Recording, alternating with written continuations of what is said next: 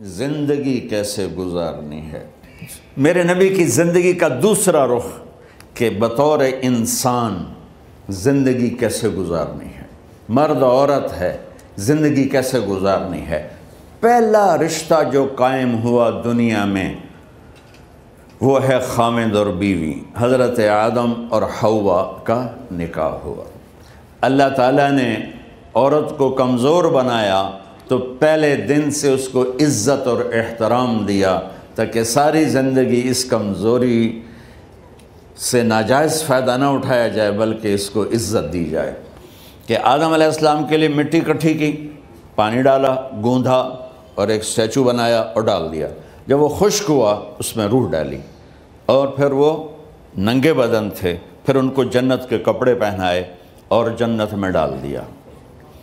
इस कायनात का हुसन भी औरत से है और जन्नत का हुसन भी औरत से है। हज़रत आदम सलाम जन्नत में, लेकिन बाबे जी का दिल ही नहीं लगता कल्ले कल्ले ही टुरे फिर दे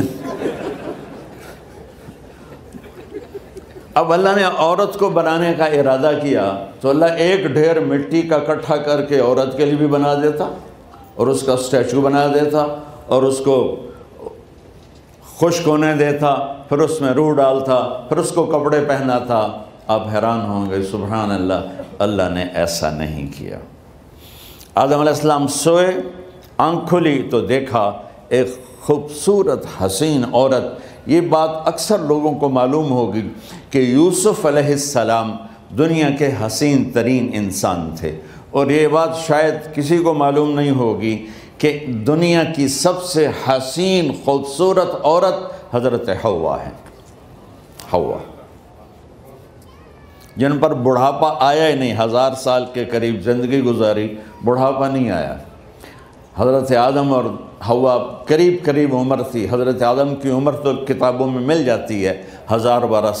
लेकिन हज़रत हवा की उम्र कितनी थी, ये कहीं पढ़ने को मिला नहीं। इसलिए मैं अंदाज़ा करता हूँ कि करीब करीब होगी, बुढ़ापा नहीं आया, बीमारी नहीं आई। और हज़रत हवा को मैंसेस भी नहीं आते थे। ये अजीब बात आपको बताऊँ। अल्लाह ने इतना जन्नत का उनके अंदर नमूना रखा। तो जब हज़रत आदम की आँख खोली तो देखा एक हुसन का पैकर, उन्होंने तो जन्नत ही भूल गई। कहने लगे, ये अल्लाह हूँ दिल ठरया जाके चल यार कौन है क्या तेरी बेगम वाह जी वाह मौजा ही मौजा तो अल्लाह ताला ने निकाह पढ़ाया सुबह अल्लाह अपने नबी की शान दोबारा सुनो तो अल्लाह ने कहा आदम अपनी बेगम का महर अदा करो तो वो पूछने लगे क्या महर है देखो एक बात सुनो महर किसी की बेटी की कीमत नहीं होती एक डॉलर हो या एक ट्रिलियन डॉलर हो, बेटी की कोई कीमत नहीं होती। ये एक निशान है कि इस बच्ची पर अब ये जो खामिद है, वो मौत तक ख़र्चा इसके ज़िम्मे है, बीवी के ज़िम्मे ख़र्चा नहीं है। खामिद कमा के लाएगा और अपनी बेगम को खिलाएगा। और बीवी घर की ज़िम्मेदारी निभाएगी। तो खैर वो अलग बात चली जाएगी। अल्लाह ताला ने कहा कि महर अदा करो। कहा, जी, क्या महर है? तो मेरे अल्लाह ने कहा, तेरी नस्ल में मेरा आखिरी नबी आएगा, उस पर एक दफ़ा दरूद पढ़ दे, ये महर है। अच्छा शुरू दिन से है कि मैंने कबूल किया। कबूल किया का मतलब है कि मैं इस लड़की को कबूल कर रहा हूँ, इसकी कमियों के साथ भी खूबियों के साथ भी। और जब लड़की कहती है, साइन करना कबूल किया है या ज़बान से कहे कबूल किया है तो ये इस बात की गारंटी है कि मैंने अपने इस लड़के को खामिद होने के तौर पे कबूल किया, उसकी कमियों के साथ भी, उसकी खूबियों के साथ भी। और जो ही शादी होकर डोली ससुराल के घर जाती है तो टेस्ट शुरू हो जाता है, की कर दिए, बांदी के में उठींदी के में बोल दी के में और इसमें बहुत ज़्यादा नेगेटिव किरदार है ससुराल का। कई लड़कियों का, क्योंकि हमने अपने नबी की ज़िंदगी नहीं कबूल किया। ये वाजिब है कहना कबूल किया। कि जिसमें पैगाम है कि अब मैं इसकी में कोई कमी है, वो भी कबूल करूँगी। कोई खूबी है तसर माथे पर। और लड़का कहता है कि मैं इसे कबूल करता हूँ। इसकी खूबियों के साथ भी, कमियों के साथ भी। ये बात याद रखना। परफेक्शन कभी तलाश न करना। परफेक्शन कभी तलाश न करना। अल्लाह ने सौ नंबर नहीं मांगे। इक्यावन। एक नंबर ऊपर हो गया। है, गुनाह तुम्हारे पचास हैं और नेकी तुम्हारी फिफ्टी वन है तो उस एक पर हम तुम्हें जन्नत में डाल दें। अब कोई खामिद अपनी बीवी में परफेक्शन देखना चाहे, बीवी अपने खामिद में परफेक्शन देखना चाहे सास ससुर अपनी बहू में सास ससुर अपने दामाद में, भाई अपने भाई में माँ बाप अपनी औलाद में, औलाद अपने माँ बाप में, जहाँ ये नज़र होगी तो वहाँ लड़ाई होगी। कमियों के साथ कबूल करो। कबूल का लफ्ज़ इतना वाजिब है, थोड़े डर तो फिर बह गई थी ना।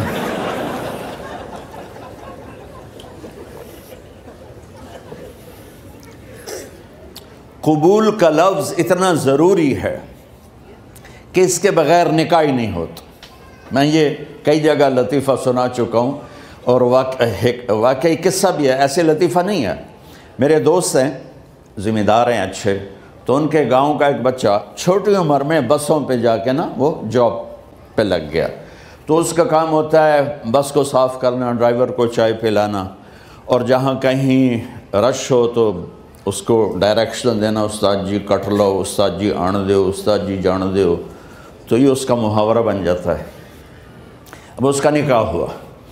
तो मौलाना साहब ने कहा, भाई अब्दुलरमान मैं फ़र्ज़ी नाम ले रहा हूँ, नाम मुझे उसका याद नहीं। अब्दुलरमान जैनब बिनत असलम नु तेरे निकाह देता, पाँच सौ महर तो कबूल किया थोड़ी देर सोच के कहता जी, आण दो उसने सारी ज़िंदगी आण दो ही सीखा था। तो उसके भाई ने उसको को नहीं मारी। तो कहने लगा, जी जान दो मौलाना साहब ने कहा आन दो जान दो नल कम नहीं बनना तो आग मैं कबूल किया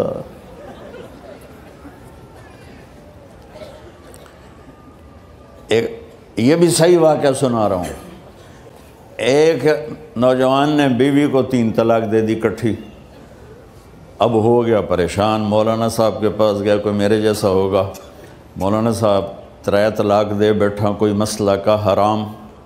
कह, जी, कोई रास्ता हराम, कोई गुंजाइश हराम। उसने जेब से मोटा सा लिफाफा निकाला और मौलाना के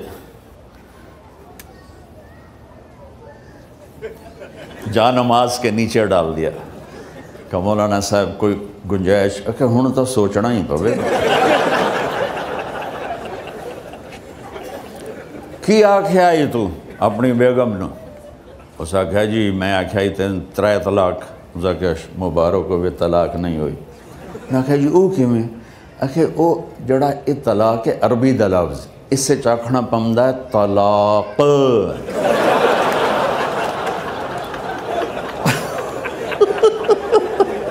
ये आपको सही वाक्य सुना रहा हूँ।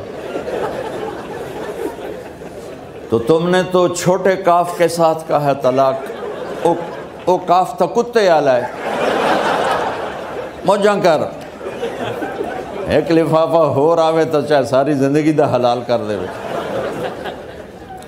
लफ्ज़ कबूल इतना ज़रूरी है। तो मेरे नबी ने ग्यारह शादियाँ की। अल्लाह की कसम शौक की नहीं थी। माँ तजवज तो वमा जवज तो अल्ला बेवाहन मैन समा नज़ल बही जबरील। का लोगो सुन लो मेरी बात गौर से। मुझे औरत की कोई रगबत नहीं है। मैंने जहाँ शादी की, जहाँ बेटी की शादी की, पहले अल्लाह ने आसमान से जबरील भेज के हुक्म दिया, फिर मैंने कदम उठाया। तो पहला रिश्ता खामिंद और बीवी है जो इस कायनात में जुड़ता है। ये दुनिया का सारे रिश्तों में नंबर वन रिश्ता है। सबसे खूबसूरत रिश्ता है, सबसे अहम रिश्ता है, सबसे बड़ा रिश्ता है। वालदेन के लिए चंद आयात हैं। औलाद के लिए चंद आयात हैं, बहन भाइयों के लिए चंद आयात हैं, खामिंद और बीवी के लिए सैकड़ों आयात हैं, सैकड़ों। तो अगर आप अपने घरों में कामयाबी देखना चाहते हो, अपने घर को हाउस की बजाय होम देखना चाहते हो, खुशी का अगर आप उसे गहवारा बनाना चाहते हो, अल्लाह की कसम, डिग्रियों से नहीं होगा, मोहब्बत से होगा। मेरे नबी से पूछा गया, या रसूल अल्लाह इस्लाम का सबसे मज़बूत अमल, नहीं, मेरे नबी ने सवाल किया, बोलो भाई, इस्लाम का सबसे मज़बूत अमल क्या है? सहाबा ने कहा, नमाज़। नहीं सुबहान अभी मैं नमाज़ की कितनी अहमियत बता चुका उन्होंने अर्ज़ किया, जिहाद आपने फरमाया नहीं। तो साहबा ने अर्ज़ किया, रोज़ा आपने फरमाया, नहीं। अल्लाह या रसूल हज आपने फरमाया नहीं. तो सारे साहबा हैरान हो गए या रसूल अल्लाह नमाज़, जहाद, रोज़ा, हज तो फिर क्या है? अब सुनना सारे बहन भाई, मस्तूरात बच्चे बच्चियाँ आपने फरमाया, इस्लाम का सबसे मज़बूत और बड़ा अमल है आपस में अल्लाह के लिए मोहब्बत करना।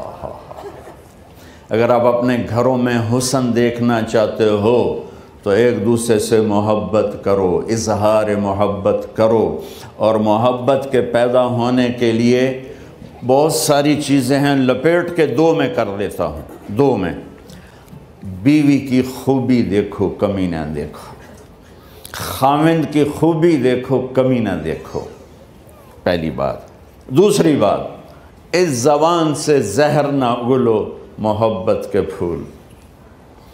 इस ज़बान से कड़वे जुमले ना हो, तंज ना हो, टॉन्टिंग ना हो बेजन ना करो, इंसल्ट ना करो तो आपके दिल जुड़ जाएँगे। याद रखो, शक्लों से ज़िंदगी आबाद नहीं होती, ज़िंदगी अखलाक से आबाद होती। तो अपने घर से टॉन्टिंग निकाल दो। न, न कहा का मतलब है बारिश का ज़मीन में जज्ब होकर यकजान हो जाना। दो ज़िंदगियों का मोहब्बत में जज्ब होकर यकजान हो जाने को निकाह कहते हैं। न कहा आँखों में नींद का उतर के सुला देना। न कहा खामिद और बीवी का ऐसी मोहब्बत देना कि चैन की नींद आ जाए। न कहा एतमाद करना, भरोसा करना खामिद बीवी पे भरोसा करे, बीवी खामिद पे भरोसा करे। ए नोवे लोक लोक के फ़ोन चेक को रहे हो काल कितने की थी? काल कितने की थी? इज़्ज़त दो, एतमाद करो। चौथा मतलब दरख्त का छाँव बना देना, ना कहा। मियाँ और बीवी खामिद और बीवी का मोहब्बत की ऐसी छाँव बनाना कि उसके नीचे औलाद का पौधा खूबसूरती से पैदा हो सके। न कहा, सिर्फ़ लफ्ज़ लिखा के मतलब बता रहा हूँ, न कहा, मरीज़ को किधर, डॉक्टर बैठे हैं मेरे सामने बैठे हैं। मरीज़ को दवा ऐसी देना कि वो शिफा याब हो जाए। आपस के ऐसे ताल्लुक़ बनाना कि ज़िंदगी को शिफा मिल जाए।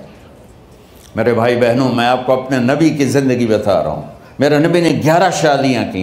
अल्लाह जलाल की कसम, सिर्फ़ हमें ज़िंदगी सिखाने के लिए कि घर की ज़िंदगी कैसे होती है और औलाद को कैसे पाला जाता है। अब लोग क्या मजबूरियाँ हैं कि औरत भी जॉब करती है, मर्द भी जॉब करता है। औरत की सबसे बड़ी जॉब अपनी नस्ल को पालना होता है। जब यहाँ टाइम नहीं मिलता बच्चे को, ना माँ से मिलता है, ना बाप से मिलता है तो फिर वो जंगल का पौधा बन जाता ये तो ये तो वैनकूवर है, फैसलाबाद की बात सुनाता हूँ। मेरे बच्चे जिस स्कूल में पढ़ते थे, उनके प्रिंसिपल से मेरी दोस्ती थी। मैं मिलने गया एक दिन तो कह लेंगे जी अजब वाक़ हुआ है कि यहाँ दो बच्चे पढ़ते हैं, उनकी माँ भी डॉक्टर है और बाप भी डॉक्टर है। तो वो दोनों आए हैं मेरे पास कि हमारे बच्चों ने तीन दिन हो गए हैं, घर में खाना नहीं खाया। तो हम परेशान हैं, हमें बताते नहीं।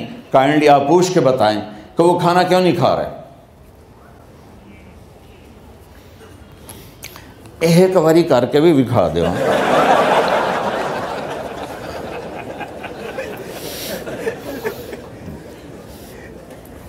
हमारा दिन इतना खुश्क नहीं हमारे मौलवी साहबान ने ज़्यादा खुश्क बना दिया तो उन्होंने दोनों बच्चों को बुलाया सुनना सारे फैमिलीज़ बैठे हो जहाँ मैं फैमिली की ज़िंदगी को फोकस करके नबी से जोड़ के बता रहा हूँ तारिक जमील के तजर्बे नहीं बता रहा दोनों बच्चों को बुलाया, बेटा, आप खाने को नहीं खा रहे? कहा, जी, हम अपने मम्मी और बाबा के सामने नहीं बताएँगे। तो उन्होंने दोनों को बाहर बैठा दिया। फिर पूछा, अब बताओ, क्या मसला है? उनका, सर, हम सुबह जब नाश्ता करते हैं तो हमारे मम्मी डैडी सो रहे होते हैं। हमारी इनसे मुलाकात नहीं होती। जब हम कॉलेज, जब हम स्कूल से वापस आते हैं तो मम्मी डैडी अपने मेडिकल कॉलेज में होते हैं, हॉस्पिटल में होते हैं तो हमें इनको देखने का मौका नहीं मिलता। शाम को जब हम खाना खाते हैं तो ये दोनों अपने प्राइवेट क्लिनिक में होते हैं तो हम इनको देख नहीं पाते। पूरा पूरा हफ़्ता गुजर जाता है, हमें माँ बाप की शक्ल नज़र नहीं आती। तो हमने स्ट्राइक की है कि ऐसे माँ बाप की रोटी क्या खानी, जो अपनी शक्ल भी ना दिखा सकें। तो इसलिए हमने कहा, हमने बाइकाट किया है, घर में नहीं खाना है। तो ऐसी लाइफ मत बनाओ। यहाँ एक बहुत बड़ा चक्कर शैतान देता है, बड़ी गाड़ी ले लो, सौ डॉलर की किस्ती तो है, और बड़ा घर ले लो, दो सौ डॉलर या सौ डॉलर की किस्ती तो है। फिर मियाँ भी काम करे, बीवी भी काम करे, जो कि बड़ा घर बाकी रहे। तो खुशियाँ तो मिट गई जो डबल जॉब करेगा। फिर डबल जॉब करते हैं। डबल जॉब करने वाला बेचारा थका हुआ जहन लेके आता है, वो कैसे टाइम देगा? अपने बच्चों को खुशी के साथ जो माँ जॉब करके आएगी, फिर खाना पकाएगी। वो जब इतनी थक जाएगी तो अपने बच्चों को खुला टाइम कैसे दे सकेगी? पूरी कायनात की ज़िम्मेदारी थी मेरे नबी के सर पर। और आप इसके बावजूद रोज़ाना हसन हुसैन के लिए वक्त निकालते थे। और उन्होंने आकर कोई लेक्चर नहीं। देखो माँ बाप से एक बात करता हूँ। लेक्चर थोड़ा दो, मोहब्बत ज़्यादा करो। ये ना करो, ये क्यों क्या? ये करो ये करो। ये छोड़कर सिर्फ़ सीने से लगाओ। सिर्फ़ मोहब्बत दो। कमियों समेत बच्चों को कबूल करो। उनकी ज़िंदगी तब्दील हो जाएगी। इतने बड़े नबी, इतनी बड़ी ज़िम्मेदारी और इतना दर्द सीने में कि आपके सीने से ऐसे उबलने की आवाज़ आती थी जैसे हांडी उबलती है। इसके बावजूद आप रोज़ाना कहते ऐन लोका, मेरे शरारती बच्चे किधर हैं? आ, हा हा तो वो भागे भागे आते, देखो, मैं फ़िज़िकल करके बताऊँगा ताकि आपको पता चले ज़िंदगी कैसे गुजारी। कि मेरे शरारती बच्चे किधर हैं? सात बर आज़म की ज़िम्मेदारी है। और थोड़ी छोटियाँ छोटियाँ जाबन। तो तुम कहते हो, बिज़ी बड़े हैं, बिज़ी बड़े हैं। मेरे नबी पे सात बर आज़म के इंसानों की ज़िम्मेदारी है और आखिरी आने वाले इंसान तक की ज़िम्मेदारी है। इससे बड़ी जॉब किसकी होगी कायनात में? और फिर आप रोज़ाना आते हैं, ऐन लुका, मेरे शरारती बच्चे किधर हैं? तो हसन हुसैन भागे भागे आते, आप उनके लिए यूँ हो जाते थे। आओ भाई मेरी कमर पे चढ़ जाओ। अपने नबी की अजमत को जानो कि उन्होंने ज़िंदगी कैसे सिखाई। चाँद के दो टुकड़े कर देना कोई मामूली बात है। आसमान चीर के चले जाना मामूली बात है। एक ज़िंदगी सिखा के जाना सबसे बड़ी बात है। कितनी औलादें बर्बाद हो गई माँ बाप की वजह से। कितने घर उजड़ गए सास ससुर की वजह से। कितने घर उजड़ गए लड़की के बदतमीज़ होने की वजह से। कितने घर उजड़ गए लड़के के शराबी और बाहर की गंदगी की वजह से। ज़िंदगी सीखो, ये इतने बड़े नबी होकर आप यूँ हो रहे हैं, जैसे मैंने आपको करके दिखाया। दोनों को ऊपर बिठा लेते और कमरे में चक्कर लगाते थे। फिर यूँ करके पूछते, तुम्हारा ऊँट कैसा है? फिर दोनों को उतार देते और अपनी बेट नवासी जैनब जिनको हज़रत अली की वरासत मिली, किसकी? इल्म की, फसाहत और बलागत की। उनको कमर पे बैठा लेते और अकेली जैनब को पूरी, पूरे घर में, पूरे घर में चक्कर लगवाते थे। और भी दुख हैं ज़माने में मोहब्बत के सिवा, राहतें और भी हैं वसल की राहत के सिवा। क्या सिर्फ़ कमाना ही काम है? उधार की ज़िंदगी से बचो, खुश खुर्रम रहो। इसको किस्त देनी है, ये किस्त देनी है, ये किस्त देनी है, ये देनी है। सर में दर्द नहीं होगा तो और क्या होगा? तो आप इतने बड़े अजीम होकर वक्त निकाल रहे हैं। और हर सब हुरारा फरमाते मेरी आँखों ने देखा। देखना सारे, कि आपने कभी हसन, कभी हुसैन यहाँ जैसे माएँ करती हैं, इधर खड़ा किया हुआ है और झूला झूला रहे हैं ऐसे।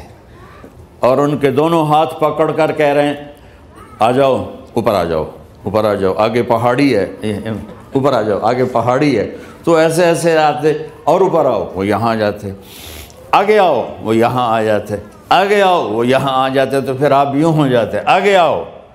तो चढ़ते चढ़ते यहाँ आ जाते, यहाँ, वो यहाँ आ जाते। तो आप उनके हाथ फिक्स करके आगे बढ़कर उनके होठों का बोसा लेते और कहते, या अल्लाह, मैं इनसे प्यार करता हूँ, तू भी इनसे प्यार फरमा। भाई अल्लाह की कसम पैसे सोने चांदी से ज़िंदगी में खूबसूरती नहीं आती। नबी की ग़ुलामी से ज़िंदगी में खूबसूरती आती है। इतने बड़े नबी हैं और हज़रत आयशा से कह रहे हैं, दौड़ लगाएँ। यहाँ किसी मौलाना से पूछो, अपनी बीवी से कभी कहा उसने कि दौड़ लगाएँ उल्टो सोटा ले आते, खल जाएगा। आयशा, दौड़ लगाएँ? और वापसी कहाँ से हो रही है? दौड़ कहाँ लगा रही? जिहाद के सफ़र से वापसी हो रही और आपने अपने साहबा से कहा, सब आगे चले जाओ। जब सारे आगे चले गए और कोई नज़र नहीं आ रहा तो आपने कहा, आयशा, आओ दौड़ लगाएँ। तो हज़रत आयशा कहती, मैंने, हमने दौड़ लगाई तो मैं आगे निकल गई लेकिन अभी पीछे रह गए। कुछ साल गुजरे तो फिर हम सफ़र से वापस आ रहे थे तो आपने सहाबा से फरमाया साहब आगे चले जाओ। चले गए। आपने कहा, आयशा, दौड़ लगाएँ। मैंने लगाएँ। कौन दिनों में ज़रा मोटी हो गई थी। तो फिर अल्लाह के नबी आगे निकल गए, मैं पीछे रह गई। तो आपने कहा, आयशा हाज ही बेतिल का आज तो और मैं बराबर